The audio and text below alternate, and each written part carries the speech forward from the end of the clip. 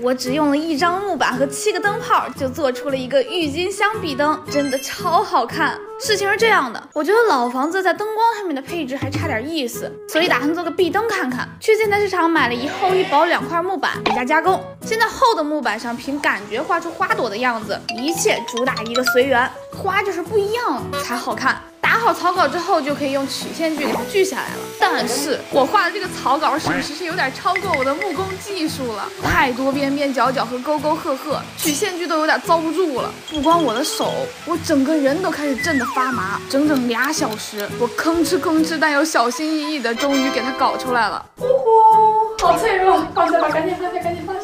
不过这还没完，为了壁灯的整体造型和立体感，我准备沿着花枝用薄的木板再做一层。本以为小点的锯的会快一些，但没想到这木板它薄啊，不好受力，锯的时候还得用力的扯着另一边，使这个巧劲儿锯，累死累活一个小时也给它锯出来了。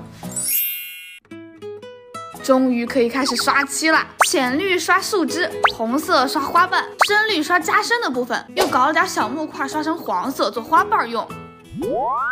用了七个灯泡和七根电线，需要把七个灯泡串联到一根线上。没搞过电工的我有点心虚啊，应该是扒开线皮，同样的颜色扭到一起就行。试试，不亮了，怪了，还是不亮，不亮了，醒醒！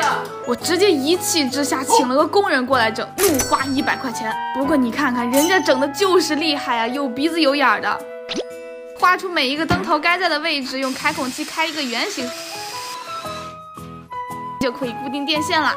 马丁枪哐哐钉上去就行，非常成功。上墙试试，好像还差点啥哦。哦，对，我的黄色花瓣还没弄上呢，现在就非常完美了，氛围感十足啊，家人们。马斯。